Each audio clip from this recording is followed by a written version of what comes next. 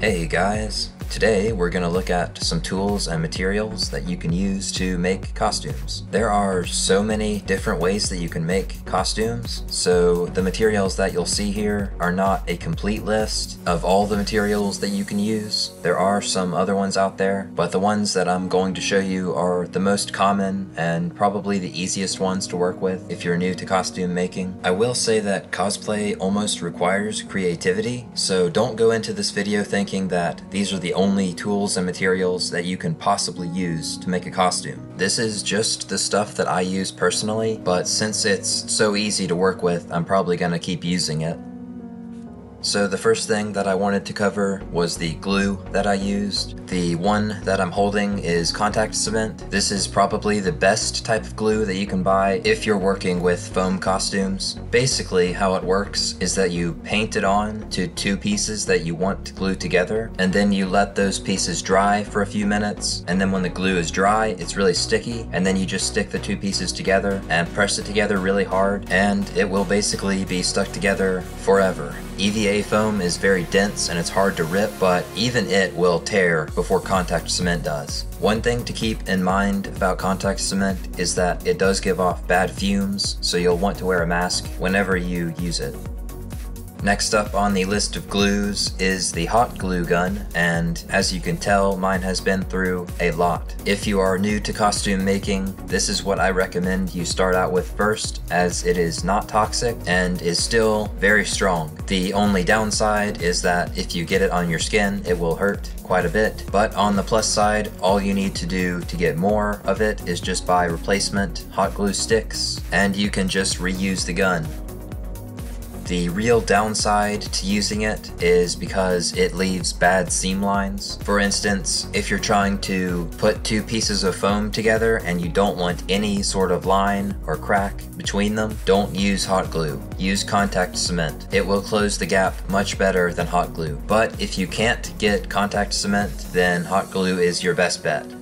Moving on to the last bit of glue that I recommend, and we have super glue. There are many different types of super glue out there. This is just the one that I found to be pretty useful. This is a great type of glue for small pieces, like detail pieces that you want to glue on top of another piece. I really don't recommend this for big pieces that you want to glue together. But otherwise, I would definitely recommend getting a small bottle of this just to keep for detail pieces.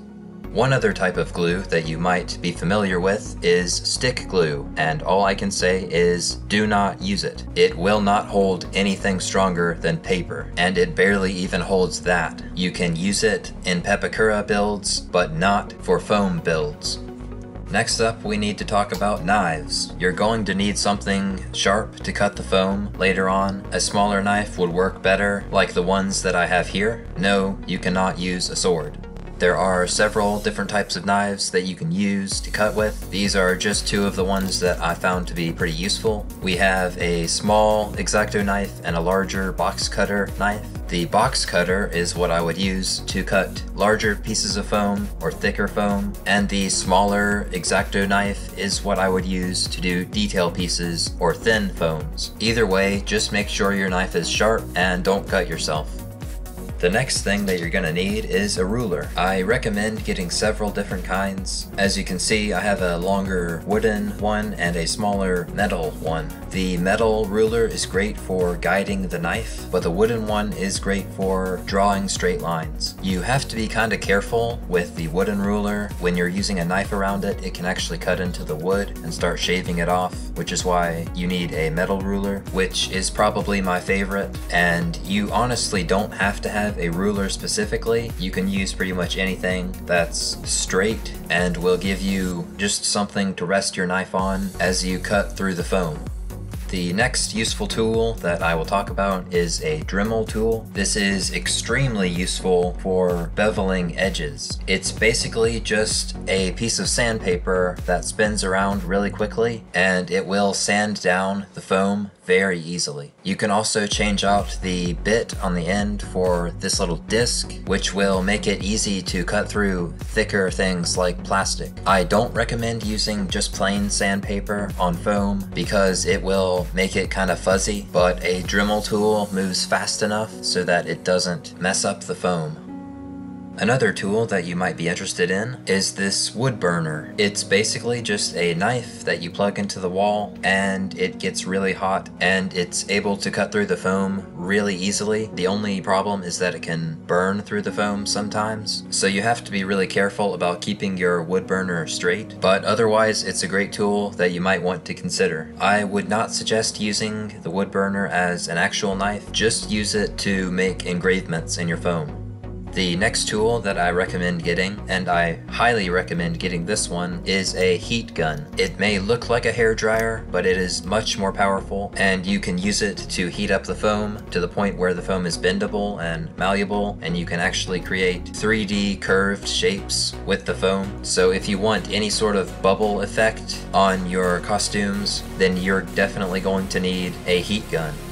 Another tool that you may find helpful is sandpaper. Now I highly recommend that you don't use this on just foam by itself because it can really scratch up the foam and make it fuzzy as I said before. But if you're going to work with any sort of resin or liquid plastic then you're going to need some sandpaper to smooth it out. Also if you ever use spackling then you can sand that down as well to cover up seam lines.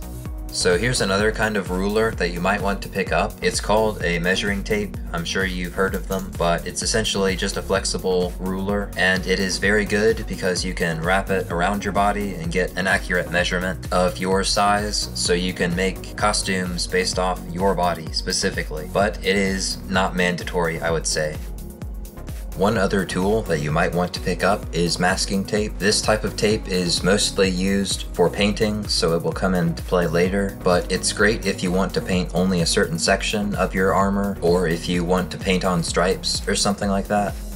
Now you're probably going to want a Sharpie as well. I use it all the time to transfer templates over to foam. They do tend to die pretty quickly when you use them on foam. I guess just the material isn't very good for the Sharpie tip, so you may want to buy like a pack of them just to make sure you have extra, but a Sharpie is the primary tool that you will use to draw the templates on the foam.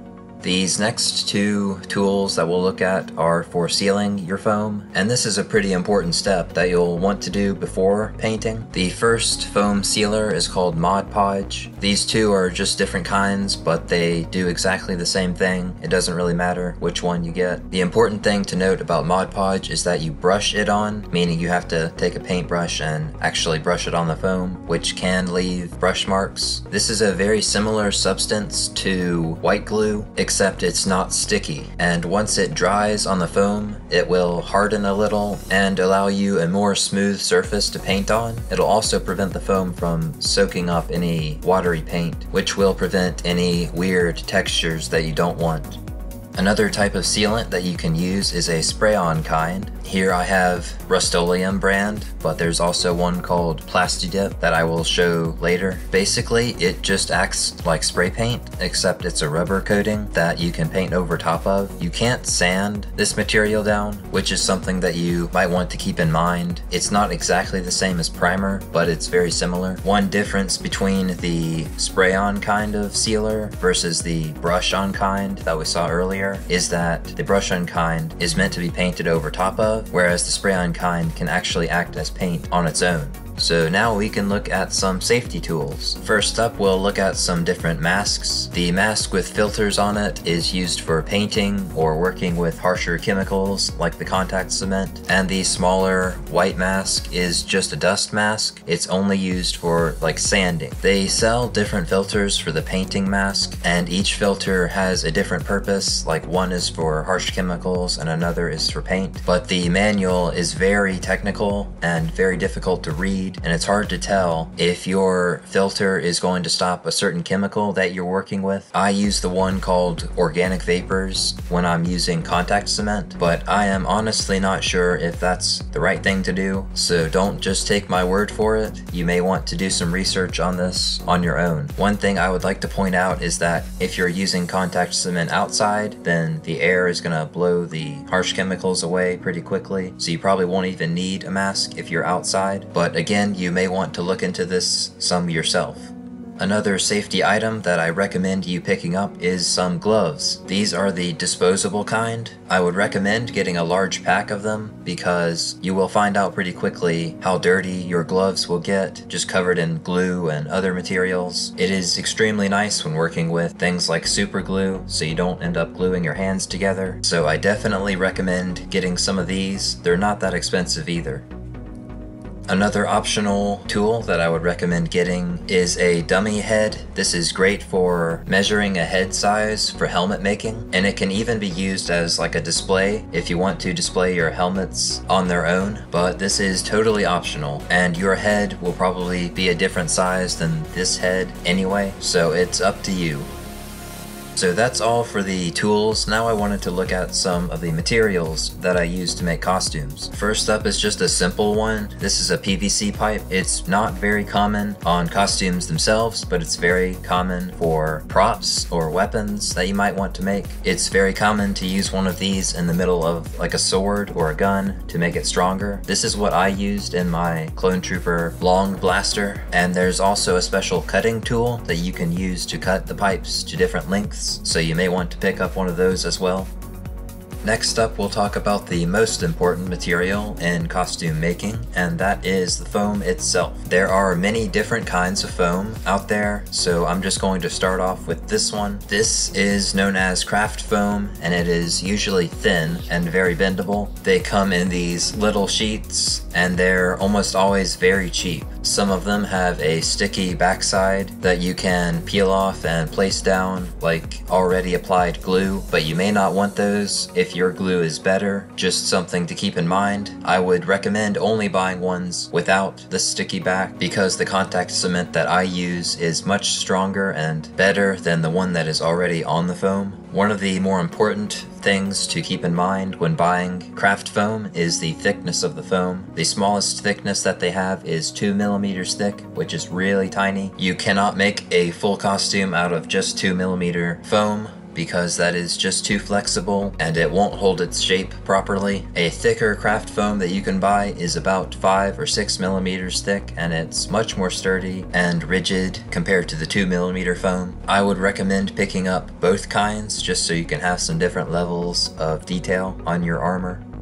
The next kind of foam is known as the roll kind of foam, and this is basically just a giant floor mat that's been rolled up. This is the same kind of foam that I used to make my Clone Trooper costume that you all saw. It is about 7 millimeters thick, and it does have this pattern on the back of it, which is different from the craft foam that we saw earlier. You'll notice that there is a lot more foam in this roll than there is with the small sheets of the craft foam, and that does show in the price. The large large roll of foam is a lot more expensive just because you get so much more of it all at once.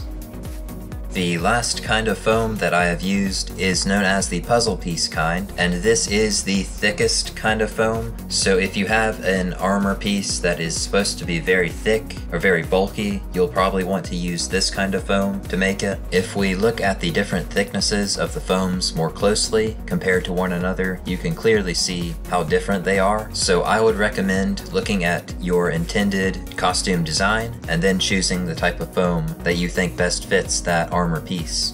On a side note, another type of foam that you might be interested in is insulation foam. This is not at all something you can use to make a costume with. It is simply for insulation purposes to fill out blank spaces in your costume. For example, I used it in my Clone Trooper costume around the shin guards to sort of fill out the empty space where my foot was not touching against the EVA foam. You can look at that video if you want to see a reference.